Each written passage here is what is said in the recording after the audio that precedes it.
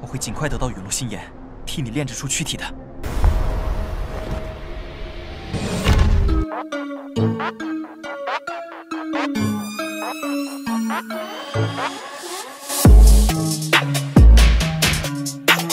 Halo para pecinta Battle Through the Heavens dimanapun kalian merebah Gimana nih kabar kalian hari ini? Semoga selalu sehat biar tetap enjoy denger kelanjutan cerita dari Xiaoyan Kuilah kita kancut,kan perjalanannya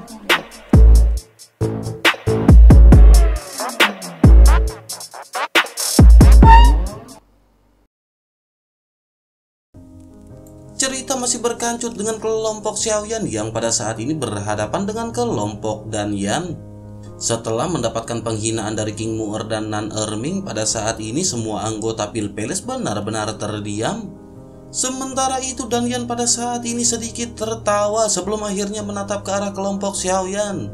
Danyan berkata bahwa kelompok Xiaoyan sebentar lagi akan mati tetapi mereka benar-benar memiliki mulut yang sangat besar Menanggapi hal tersebut, tubuh halus dari King Moore pun bergetar dan ia segera berteriak kepada Danyan. King Moore berkata bahwa ayah Danyan berjanji kepada leluhur ras monster di depan semua kekuatan utama. Ia telah berjanji bahwa ia tidak akan pernah menimbulkan permasalahan lagi kepada Xiaoyan. Apakah Danyan tidak takut bahwa Danyan akan membuat marah leluhur dari ras monster dengan melanggar janji ayahnya seperti ini? Bisakah Danian menahan amarah dari leluhur ras monster kepada Pilpeles? Menanggapi hal tersebut, Danian pun segera tertawa dan berkata tentu saja ia takut. Tetapi jika semua orang di kelompok Xiaoyan pada saat ini benar-benar mati, bagaimana mungkin leluhur dari ras monster bisa mengetahuinya? Semua orang hanya akan mengira kelompok Xiaoyan mati dalam perburuan harta karun. Bahkan jika semua orang menebak bahwa Pilpeles yang mengirim orang untuk membunuh mereka, bagaimana semua orang bisa mempercayai hal tersebut jika tidak ada buktinya? Pada saat ini Danian benar-benar akan menghancurkan semua mayat dari kelompok Xiaoyan. Mendengar perkataan Danian ini pada akhirnya Xiaoyan pun segera membuka mulutnya untuk mulai berbicara. Xiaoyan berkata agar Danian jangan berpikir bahwa semuanya telah ditentukan. Pada saat ini siapa yang akan menghancurkan dan siapa yang akan dihancurkan masih belum bisa dipastikan. Mendengar perkataan dari Xiaoyan ini Danian benar-benar sangat terkejut. Sementara itu di sisi lain Xiaoyan pada saat ini benar-benar telah memahami situasi pertempuran yang akan terjadi. Xiaoyan sangat sadar akan krisis yang pada saat ini dialami oleh kelompoknya. Xiaoyan secara kasar menilai dari intensitas doki semua orang yang dibawa oleh Pilpeles. Di antara 15 orang yang dibawa oleh Danyan, ada dua orang puncak bintang 7, 8 orang tahap akhir bintang 7, dan sisanya tahap menengah bintang 7. Barisan seperti ini sudah sebanding dengan kekuatan tempur kelas atas dari kekuatan besar binasa. Digigit oleh barisan seperti itu dengan hanya Xiaoyan yang merupakan tahap awal bintang 7 Dodi. Bahkan dengan menggunakan keterampilan bertarung tim mereka, kelompok Xiaoyan pada saat ini benar-benar dapat digambarkan masuk ke dalam situasi yang putus asa. Bukan tidak mungkin bagi Xiaoyan melarikan diri dengan sayap tulang dan keterampilan kecepatan miliknya. Tetapi bagaimana mungkin Xiaoyan bisa meninggalkan teman-temannya dan melarikan diri sendirian? Oleh karena itu, karena tidak adanya jalan keluar, maka satu-satunya pilihan adalah bertarung sampai mati. Memikirkan hal ini, Xiaoyan hanya tersenyum dengan kepercayaan diri atas kelompoknya. Sementara itu di sisi lain, Danian pada saat ini tidak bisa menahan tawa. Ia berkata bahwa ia menjamin tidak akan ada dari kelompok Xiaoyan yang akan lolos dari jaring hari ini. Hari ini di tahun depan akan menjadi hari kematian kolektif dari kelompok Xiaoyan. Menanggapi hal tersebut, Xiaoyan masih tersenyum dan mulai berbicara dengan dingin apa gunanya Dandian banyak berbicara. Bukankah pada saat ini adalah saatnya untuk bertarung? Mari mereka melihat apakah ikannya mati ataukah jaringnya rusak di dalam pertempuran ini. Setelah mengucapkan perkataan ini, semua orang di kelompok Xiaoyan pada saat ini segera mengepalkan tangan mereka dengan erat. Berbekal senjata dan doki yang penuh dengan tatapan tegas, mereka bersiap untuk pertempuran hidup dan mati. Sementara itu di sisi lain, Danian awalnya berpikir bahwa dalam situasi putus asa ini, Xiaoyan kemungkinan besar akan menderita kepanikan dan ketakutan. Tetapi Xiaoyan pada saat ini benar-benar tidak menunjukkan kepanikan sedikit pun untuk melarikan diri. Hal ini benar-benar membuat Danian merasa sangat kecewa dan merasakan kemarahan di dalam hatinya. Pada akhirnya Danian pun segera memerintahkan kelompoknya untuk segera melangkah maju menyerang kelompok Xiaoyan. Pertempuran sengit ini benar-benar sudah dekat dengan kedua kelompok yang pada saat ini bersiap. Salah seorang Dodi bintang 7 tahap menengah dari kelompok Pilpeles pada saat ini segera menyerang ke arah kelompok Xiaoyan. Target dari orang ini adalah sosok Ziying yang pada saat ini sedang bersiap. Sosok ini tidak menyerang Xiaoyan karena menyadari bagian Xiaoyan tentu saja akan ditangani oleh Danyan. Sementara itu di sisi lain ekspresi Ziying pada saat ini berubah menjadi ketakutan. Ziying tidak berani menatap ke arah Dodi bintang tujuh tahap menengah yang pada saat ini menyerang ke arahnya. Ia pun segera bergerak untuk bersembunyi di belakang Xiaozan. Bersamaan dengan itu, Ziying juga mengeluarkan teknik salju pamungkas miliknya pada saat ini angin dan salju tiba-tiba bertiup kencang mengaburkan dunia dan mengaburkan pandangan. Dodi bintang tujuh yang menyerang ini pun seketika menatap ke arah Ziying yang pada saat ini sudah menghilang dari balik Xiaozan. Bersamaan dengan itu tiba-tiba ada angin dingin yang mendesak di hadapan Dodi bintang tujuh. Ia tiba-tiba merasa bahwa bahaya fatal mendekat dari belakang punggungnya dan jantungnya seketika bergetar. Dokinya seketika melonjak dan cahaya perak langsung menyala di tubuhnya. Sepasang baju besi perak pada saat ini segera terlihat untuk memblokir serangan tiba-tiba yang dilesatkan oleh Ziying. Bersamaan dengan itu sosok tersebut pun segera berteriak kepada Ziying bahwa ia benar-benar mencari kematian. Ia pun segera melesatkan tinju besar berat miliknya ke arah sosok Anggun Ziying yang berada di hadapannya. Dengan sekejap mata pukulan ini pun menghantam sosok Ziying yang tiba-tiba hancur. Mata Dodi bintang tujuh ini pun seketika menyipit menyadari bahwa ini adalah sebuah after image dari Ziying. Pada akhirnya ia kembali menoleh ke arah Xiaozan dan melihat Ziying yang pada saat ini berada di samping Xiaozan. Matanya dipenuhi dengan tatapan menghina karena Ziying benar-benar berani menyelinap menyerang ke arahnya. Pada akhirnya sosok tersebut pun segera bergegas menuju ke arah Ziying. Tetapi begitu ia bergerak, tiba-tiba sederet darah segera menyembur keluar dari lehernya. Dodi bintang tujuh tahap menengah ini pun buru-buru menghentikan sosoknya dan mencengkram lehernya erat-erat dengan tangannya. Amarahnya pada saat ini segera digantikan oleh perasaan yang dipenuhi dengan kebingungan. Darah terus mengalir di sela-sela jarinya dan pada saat ini terlihat ada sebuah teror di matanya. Dodi tahap menengah bintang tujuh ini pun seketika jatuh tersungkur dan mati. Semua orang di Pilpeles pada saat ini berhenti bergerak melihat pemandangan di hadapan mereka. Semua orang tahu bahwa kelompok Xiaoyan memiliki keterampilan bertarung tim yang dapat melambungkan seorang puncak bintang 6 Dodi ke bintang 7 tahap menengah. Tetapi melihat tubuh Dodi tahap menengah bintang 7 yang baru saja terjatuh, mereka masih belum bisa mengetahui teknik apa yang digunakan oleh Xiaoyan.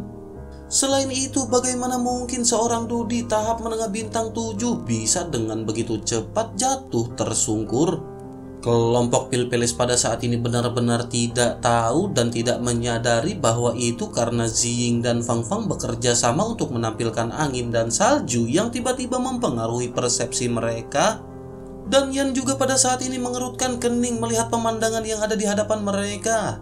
Dan Yan juga sudah lama mengetahui bahwa Xiaoyan dan yang lainnya memang memiliki keterampilan bertarung tim yang dapat meningkatkan kekuatan tetapi pada saat ini Danian berpikir tampaknya keterampilan bertarung tim dari kelompok Xiaoyan ini benar-benar sedikit rumit.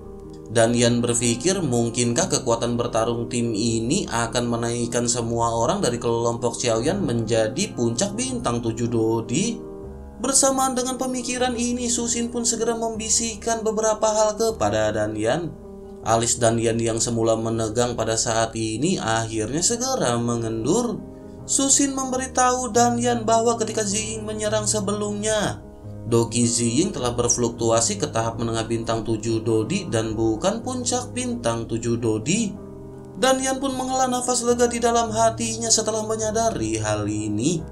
Dan Yan mengerti hanya Xiaoyan lah yang pada saat ini akan melonjak menuju ke tahap puncak bintang 7 Dodi. Pada akhirnya Danyan segera mulai berbicara untuk menenangkan hati kelompoknya. Danyan berkata ia harus mengakui bahwa keterampilan bertarung tim Xiaoyan sangat bagus, tetapi sangat disayangkan karena kekuatan Xiaoyan sendiri terlalu rendah. Keterampilan bertarung tim Xiaoyan pada saat ini hanya dapat meningkatkan kekuatan ke tahap pertengahan bintang 7. Mendengar perkataan dari Danyan ini, semua orang dari Pilpeles segera menunjukkan ekspresi tenang. Kelompok dari Pilpeles menganggukkan kelapanya dan pada saat ini benar-benar bersemangat untuk kembali bertempur. Melihat anggotanya yang pada saat ini bersemangat dan Yan pun segera mengeluarkan perintah untuk menyerang lagi. Tinggalkan Xiaoyan kepadanya dan mereka semua dapat bersenang-senang dengan anggota kelompok yang lain. Setelah mendengar perintah dari Dandian ini, semua orang pun segera bergegas menuju ke arah kelompok Xiaoyan. Seorang Dodi dengan tubuh yang seperti banteng pada saat ini segera melesat menuju ke arah Ziying. Dodi yang berasal dari klan monster ini segera melesatkan serangan terkuatnya ke arah Ziying. Namun bersamaan dengan itu tiba-tiba sebuah cahaya keemasan bersinar terang dan monster emas besar segera tergeletak di depan kelompok dari Pilpeles. Semua orang dari Pilpeles mau tidak mau mundur dua langkah karena terkejut. Ketika mereka memperhatikan lebih dekat, mereka bahkan benar-benar menjadi lebih kaget. Semua orang benar-benar tidak menyangka karena sosok yang berada di hadapan mereka adalah seekor naga. Secara naluriah, kelompok dari Pilpeles pada saat ini memiliki kekaguman melihat naga emas yang berada di hadapan mereka. Semua orang di Pilpeles tiba-tiba merasakan seolah-olah mereka sedang menghadapi musuh yang tangguh. Mereka menyadari bahwa ini adalah sosok naga sembilan guntur emas misterius. Meskipun begitu, mereka pada saat ini menyadari bahwa kekuatan dari monster ini tidaklah kuat. Ini hanyalah naga remaja dan semua orang dari Pilpeles pada saat ini akhirnya menjadi sedikit tenang. Dan Yan juga pada saat ini sedikit terkejut melihat tubuh asli dari Long Yi. Ekspresi keserakahan pada saat ini muncul di mata Danyan melihat sosok naga sembilan guntur emas yang mendalam. Hal itu dikarenakan bagi seorang alkemis memurnikan pil adalah sebuah hal yang sangat mudah. Hal yang benar-benar menjadi hambatan bagi seorang alkemis adalah ketika mereka menyempurnakan pil. Mereka benar-benar harus berhadapan dengan pil lightning untuk kesempurnaan. Tidak jarang banyak alkemis yang mati setelah memurnikan obat karena tidak mampu berhadapan dengan pil lightning. Oleh karena itu Danyan pada saat ini berpikir untuk memiliki Long Yi. Dengan adanya Long Yi maka mereka akan dapat mempermudah untuk menerima pil lightning. Memikirkan hal ini Danyan pun seketika tertawa dan berkata bahwa ia tidak menyangka itu adalah naga sembilan guntur emas yang mendalam merupakan sebuah keberuntungan yang sangat besar untuk bisa menyaksikan makhluk roh legendaris. Sementara itu di sisi lain Long Yi pada saat ini hanya melirik ke arah Danyan dengan ekspresi meremehkan. Menyadari ekspresi ini Danyan menyadari bahwa tidak mungkin baginya pada saat ini untuk mendapatkan Long Yi. Pada akhirnya Danyan pun segera berkata sangat disayangkan binatang roh yang tiada taranya ini akan mati hari ini. Sementara itu di sisi lain sosok Long Yi pada saat ini meraung mengungkapkan kemarahannya. Pada akhirnya Long Yi pun segera melesat untuk melakukan serangan ke arah kelompok Dan Yan. Tatapan Dan Yan menjadi sangat suram dan dingin dan kecemburuan pada saat ini muncul di hatinya. Ia benar-benar tidak menyangka bahwa naga sembilan guntur emas yang mendalam ini benar-benar setia kepada Xiaoyan. Tetapi ia segera menekan perasaan ini di dalam hatinya dan memerintahkan kelompoknya untuk menyerang. Menanggapi perintah tersebut, seorang Dodi bintang 7 yang pada saat ini benar-benar arogan segera melesat ke depan. Meskipun ia tahu yang ia hadapi adalah binatang roh misterius, tetapi pada saat ini ia menyadari kekuatan monster yang dihadapinya masih lemah. Kekuatannya tidak sebanding jika dibandingkan dengan kekuatan miliknya yang merupakan bintang tujuh tahap menengah. Pada akhirnya, Dodi bintang tujuh dari klan monster ini pun segera melesatkan tinjunya ke arah Long Yi. Melihat serangan ganas ini, Long Yi tentu saja tidak akan bertindak gegabah. Dengan kibasan ekor naganya, cahaya keemasan seketika menyapu untuk menemui serangan kuat tersebut. Pada akhirnya benturan pun segera terjadi dengan tinju sengit berhadapan dengan ekor naga Long Yi. Salju berterbangan ke segala arah dan gelombang kejut Doki pada saat ini segera mengguncang semua orang. Pada saat ini ekor emas dari Long Yi hanya mundur sedikit setelah benturan. Sementara Dodi bintang 7 dari Last Monster ini terbang mundur seperti anak panah dan meneteskan darah di sepanjang jalur. Danian dan semua orang dari kelompok Pilpeles pada saat ini benar-benar terkejut. Di benturan ini Dodi bintang 7 benar-benar melesatkan serangan terkuatnya ke arah Long Yi. Sosok ini benar-benar menyerang sementara Long Yi berusaha untuk bertahan. Tetapi pada saat ini hasil akhirnya membuktikan seolah-olah Dodi bintang 7 dari ras monster ini benar-benar telah dipukul. Mereka bertanya-tanya mengapa bisa pria bintang 7 Dodi ini benar-benar terluka. Sementara itu di sisi lain mata Dodi bintang 7 yang benar-benar terluka oleh Long Yi dipenuhi dengan keterkejutan.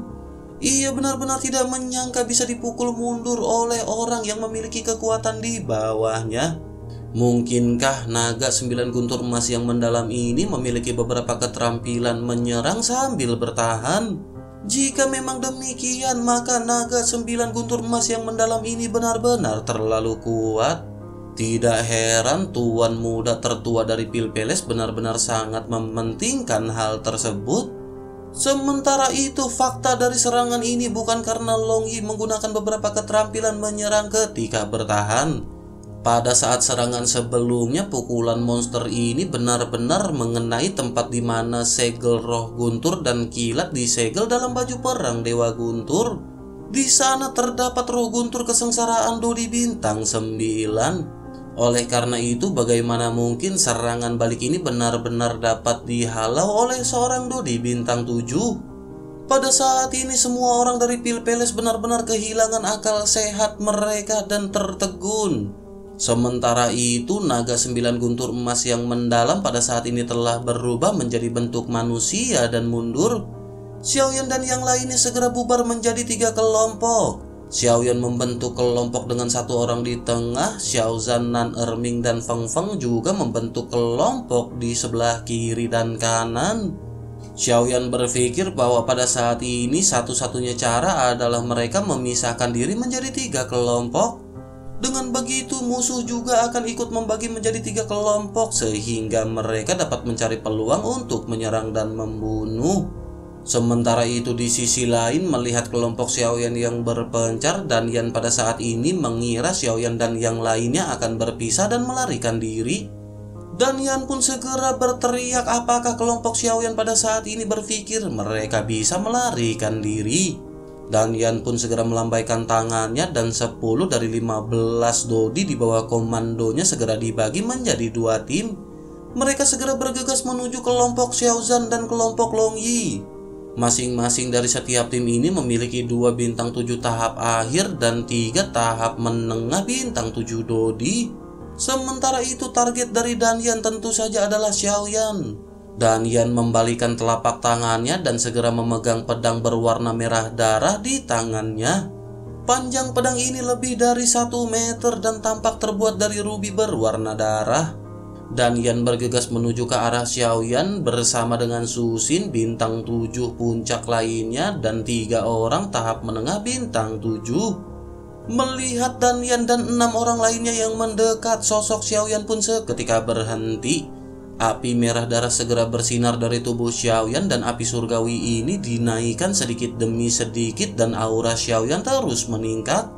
Dan Yan dan Xiaoyan sama-sama berada di tahap awal bintang 7 Dodi. Oleh karena itu, keduanya pada saat ini benar-benar tidak berani bertindak gegabah. Melihat Xiaoyan yang melesatkan kobaran api dan Yan juga buru-buru berhenti diikuti oleh semua orang. Dan Yan menyadari bahwa Xiaoyan dikenal sebagai jenius yang tak tertandingi nomor satu dari generasi baru. Sekarang Xiaoyan tampaknya berusaha sekuat tenaga untuk berhadapan dengan mereka.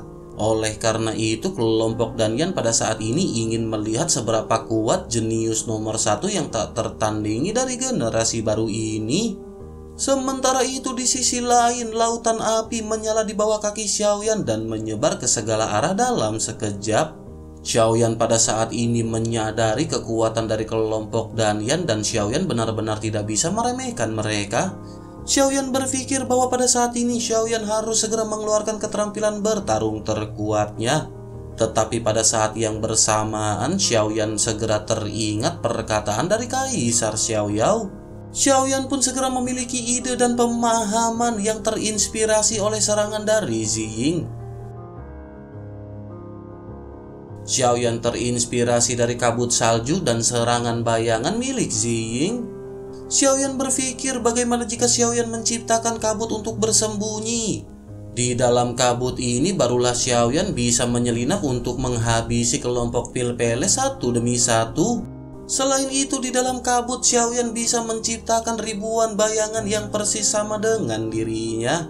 Memikirkan hal ini, Xiaoyan pada akhirnya bersemangat dan mencari cara bagaimana caranya untuk mewujudkan teknik tersebut. Xiaoyan telah terobsesi dengan api selama bertahun-tahun dan begitu mendapatkan pencerahan. Xiaoyan secara alami mengumpulkan banyak waktu untuk membentuk teknik ini. Dengan pemikirannya pada saat ini api surgawi segera melonjak ke segala arah menutupi bidang area yang dipikirkan oleh Xiaoyan. Xiaoyan pada saat ini dapat bersembunyi di lautan api yang mengamuk dan melarikan diri dari jarak tertentu dengan satu pikiran.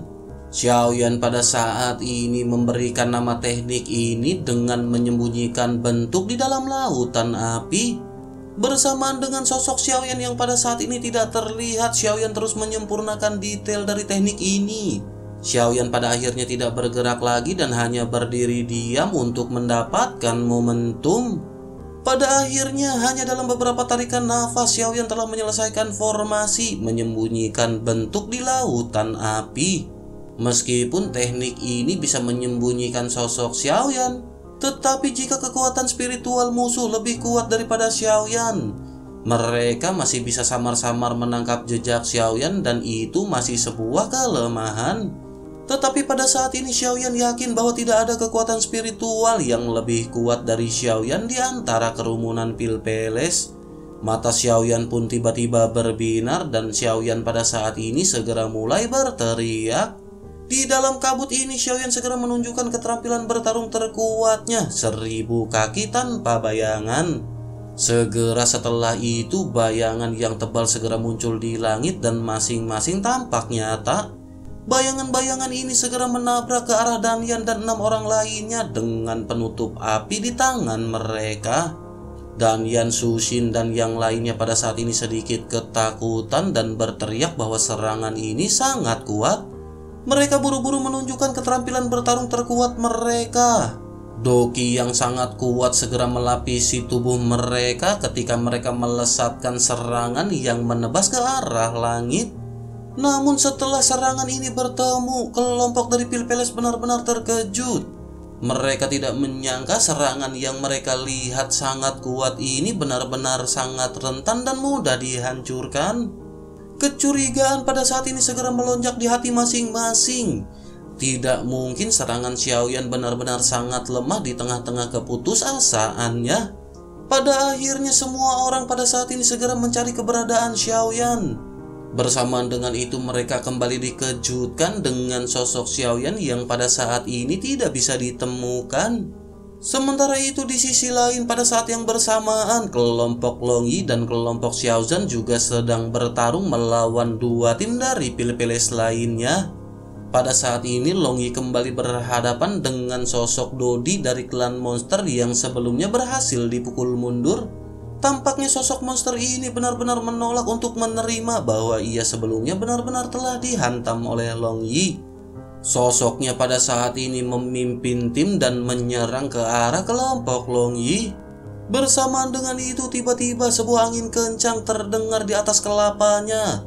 Gelombang panas menyertai angin kencang dan sosok monster dari Pilpeles ini benar-benar mengangkat matanya dan melihat pedang kuno api surgawi. Sosok ini seketika langsung ketakutan setengah mati karena ia benar-benar tidak menyangka ada sebuah serangan yang tiba-tiba. Ia buru-buru mengangkat perisainya dengan kedua tangannya untuk berhadapan dengan pedang kuno api surgawi yang ternyata dilesatkan oleh Xiaoyan. Teknik gerakan Xiaoyan ini sudah sangat cepat, terlebih lagi Xiaoyan pada saat ini melakukannya dengan tiba-tiba. Pada akhirnya pedang kuno api surgawi membanting dengan keras perisai besi yang dibentuk oleh monster tersebut. Dodi bintang 7 dari ras monster ini merasa sedikit mati rasa di lengannya. Setelah benturan ini, Xiaoyan dikirim terbang mundur menuju ke arah kelompok Xiaozan. Dodi bintang 7 dari ras monster ini seketika mendengus dingin dan menatap ke arah Xiaoyan yang diterbangkan mundur.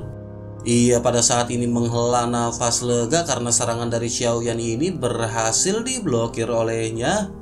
Tetapi bersamaan dengan itu ia kembali dikejutkan dengan sosok Ziying yang muncul di belakangnya. Dodi bintang 7 dari ras monster ini benar-benar lengah dan ketika ia menoleh bilah tajam dari Ziying segera menebas. Pada akhirnya Dodi bintang 7 dari ras monster ini benar-benar mati oleh serangan salju milik Ziying. Sementara itu di sisi lain sosok Xiaoyan telah melesatkan seribu kaki tanpa bayangan. Serangan ini dilesatkan kepada pemimpin dari kelompok Pilpeles yang berhadapan dengan kelompok Xiaozan. Pemimpin dari kelompok ini benar-benar ikut lengah setelah menyaksikan kematian dari Dodi bintang 7 dari ras monster. Pada akhirnya pemimpin dari kelompok ini juga berhasil dibunuh oleh serangan Xiaoyan. Bagaimana mungkin seorang tahap akhir bintang 7 Dodi bisa menghadapi serangan dari Xiaoyan yang kekuatannya telah melonjak ke tahap puncak bintang 7 Dodi? Pada akhirnya dua burung mati hanya dengan satu batu yang dilesatkan oleh kelompok Xiaoyan. Seluruh operasi penyerangan dan pembunuhan ini benar-benar telah direncanakan dengan hati-hati. Semuanya dikoordinasikan secara diam-diam secepat kilat dan bersih. Di sisi lain, ketika Danyan dan Sushin melihat pemandangan ini, paru-paru mereka benar-benar meledak karena amarah. Danyan benar-benar tidak pernah menyangka bahwa dengan perbedaan kekuatan seperti itu, Ziying dan Xiaoyan menyerang dan membunuh beberapa orang Dodi dari kelompok mereka. Sushin juga pada saat ini benar-benar terkejut dan melihat sekelilingnya karena pada saat ini dari 15 orang yang mereka bawa, tiga orang Dodi bintang 7 benar-benar telah terbunuh dalam waktu cepat oleh kelompok Xiaoyan. Pada saat yang sama, Danian dan enam orang lainnya memahami bahwa tujuh orang dari kelompok Xiaoyan dibagi menjadi tiga kelompok bukan untuk melarikan diri. Hal itu dilakukan oleh Xiaoyan untuk membiarkan Xiaoyan menarik mereka dan kemudian menggunakan keterampilan bertarungnya yang aneh yang dapat bersembunyi di lautan api. Dengan teknik semacam ini, maka hal itu bisa menimbulkan kerusakan pada dua tim lainnya dengan serangan menyelinap Xiaoyan benar-benar mengurangi kekuatan mereka satu persatu untuk mencapai tujuan akhir serangan balik. Pada akhirnya memikirkan hal ini, Danian dan enam orang lainnya segera bergegas menuju ke arah Xiaoyan. Semua orang menyadari bahwa Xiaoyan pada saat ini benar-benar harus ditahan. Sementara itu di sisi lain, sosok Xiaoyan juga pada saat ini telah bergegas ke arah kelompok dari Danian. Api surgawi kembali mengayunkan banyak bayangan dari pedang kuno api surgawi. Dengan doki bintang 7 milik Xiaoyan, Xiaoyan segera mengeluarkan teknik seribu kaki tanpa bayangan untuk kembali menyerang ke arah Danyan secara langsung. Kembali melihat serangan yang kuat dari Xiaoyan, Danyan pun seketika ekspresinya berubah. Danyan buru-buru berhenti dan mengangkat pedangnya serta pergelangan tangannya pada saat ini seketika bergetar. Cahaya pedang Danian seketika melonjak membentuk jaring merah besar untuk menutupi serangan pedang kuno api surgawi. Sushin juga pada saat ini buru-buru melambaikan pedang hijau tajam di tangannya. Bersamaan dengan itu, keterampilan bertarung pun ditampilkan oleh empat orang yang tersisa. Kelompok dan Yan pada saat ini secara bersama-sama melesatkan serangan kuat ke arah Xiaoyan. Benturan keras pun tidak dapat terhindarkan di mana enam keterampilan bertarung kelompok dan Yan berhadapan dengan 999 kaki tanpa bayangan. Tiga keterampilan bertarung tingkat puncak bintang 7 Dodi dan tiga keterampilan bertarung tingkat akhir bintang 7 Dodi benar-benar telah bersatu. Enam serangan dari bintang 7 Dodi ini benar-benar berhadapan dengan serangan Xiaoyan yang merupakan seorang Dodi tahap puncak bintang 7. Suara ledakan benar-benar bergema di seluruh angkasa bahkan suara tajam pada saat ini merobek ruang. Es di seluruh puncak gunung pada saat ini hancur lebur menjadi bubuk di udara. Dan Yan dan enam orang lainnya terhuyung mundur beberapa langkah sementara Xiaoyan terbang mundur beberapa langkah. Xiaoyan pun buru-buru berhenti dan energi serta darah di tubuh Xiaoyan pada saat ini terus melonjak. Xiaoyan pada saat ini benar-benar telah mengeluarkan semua kekuatannya tetapi pada akhirnya Xiaoyan masih dirugikan.